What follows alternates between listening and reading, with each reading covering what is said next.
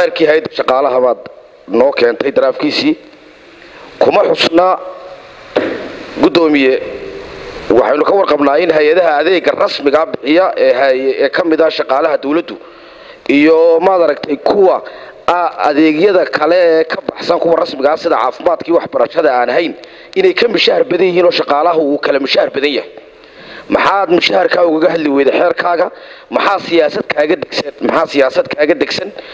oo uu kaaga talagali karaa macalinka iyo qofka caafimaadka jooga dhakhtarka weyn ka howlgala tobanka saacadood ama labaatanka saacadood ee uu ka mushaharka badan yahay qofka warfaafinta jooga ee labada saacadood intuu subaxii tago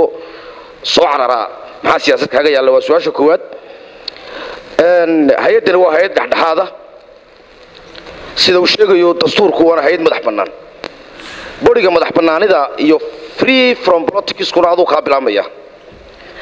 waxaan rabnaa inaad noo sheegto guddoomiye xeerka iyo qodobada adiga ku siiya inaad siyaasadda qayb ka noqoto oo xisbiyada dalka aad mid ka mida qayb ka noqoto shaqaalaha aad maamusho iyo ku-xigeenadaadana ka reebay qodobadaana inaad noo caddayso waanu rabnaayo xeerkan maadaama aanaan ka dhex arkaynin. Qodobka afraad waxaad ku soo qortay xeerka haweenka howlgabkoogu wuxuu noqonayaa lixdan sannadood raggana shan iyo lixdan buu noqonayaa. Maxaad u cuskatay mashaariicada islaamka dhaqankee diintee inagoo og in haweenku ay ka howlkarsan yihiin ay ka cimri dheer yihiin marka lifetimeka la eego ragga. Maxaad cuskatay halkaa iyadoo haweenkeennuna ay dhibaatooyin badan ku qabaan dhexdooda? Su'aasha afraad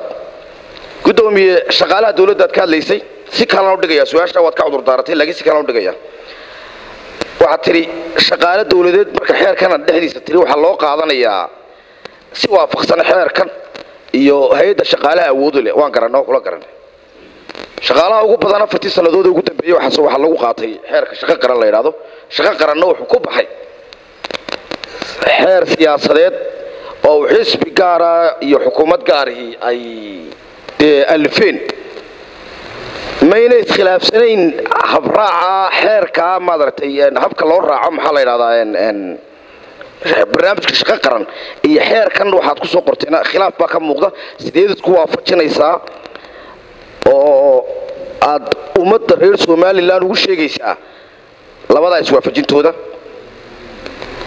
waxaan kaga baxayaa su'aasha ugu dambaysa. Xeerka aad u cuskatay xeer lamber ee aad ku hoos keentay dhammaan hay'adaha ay ka midkihiin dowladaha hoose hantidhowrka komishinka doorashooyinka qaranka waxaa ka weyn qodobada dastuurka ee qodobada baa hay'ada madax bannaan ka dhigay hay'adahaasi sidee buu xeerkaasi awood u siinayaa in lagu dabro oo shaqaalaha hay'adaha madax bannaan aad ku maamusho? Aad iyo aad baad u mahadsantihiin lixdan sano maxaa loo yidhi? Raggana loo yidhi. Xeerkan haddaa eegtaan xuquuqaad badan buu siiya haweenka ee shaqaalaha ah. Hadday noqoto wakhtiga dhalmada hadday noqoto wakhtiga naasnuujinta oo ku arki doontaan xuquuqaad badan oo runtii siinaya fursad wanaagsanba ayaa ku jira. Waana shay inoo muhiima inaynu haweenkeenna iyo carruurteennaba dar yeello. Dabcan kana qayb qaataan habsamayn socodka iyo horumarinta kaabayaasha bulshada iyo shaqada iyo shaqaalahaba dee shaqo badanoo inaan raggu qabanin bay dumarku qabtaan oo ogtihiin. Marka waxa da'da looga hoosaysiiyey macnaheedu waxa weeye inay shaqo badan oo kale iyagu qabtaan oo hawl guri iyo carruur korin iyo warshadii wax soo saarkeedee ubadkii ah. Markaa sababtaasaa ayaa ayaa si gaara loogu xusay inay iyagu ka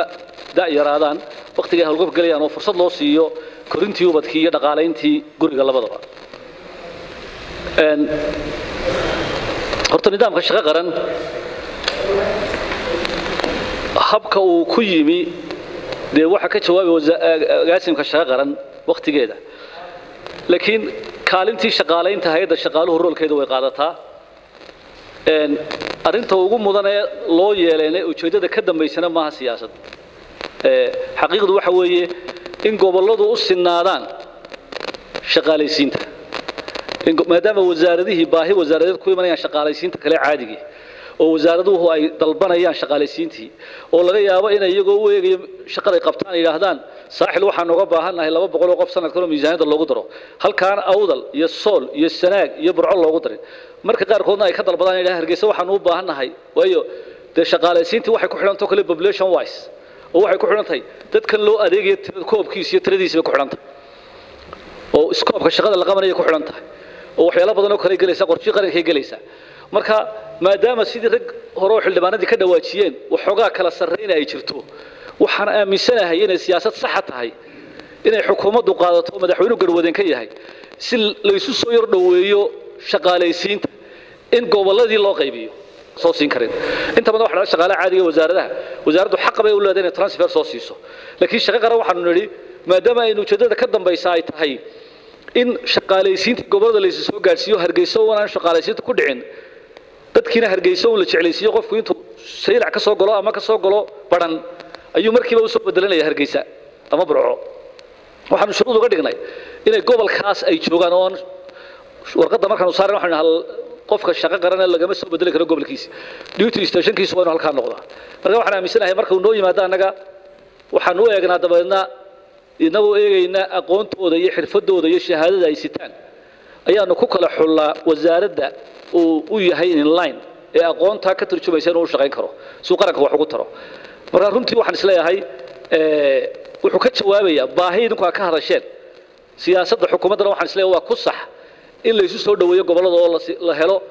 barnaamij iyo hab isgaadhsiinaya shaqaalaysiinta. Intii la soo dhaafay duruufo iyo marxaladii hore